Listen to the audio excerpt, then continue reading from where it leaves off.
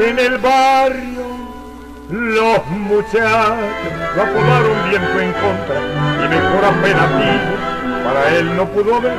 No hay cosa que se comente que él no sepa ni conozca, aunque hoy se contradiga. Pero que sostuvo ayer es confiado y me perete con razón o sin razón. Siempre está de viento en contra y se pasa de matón.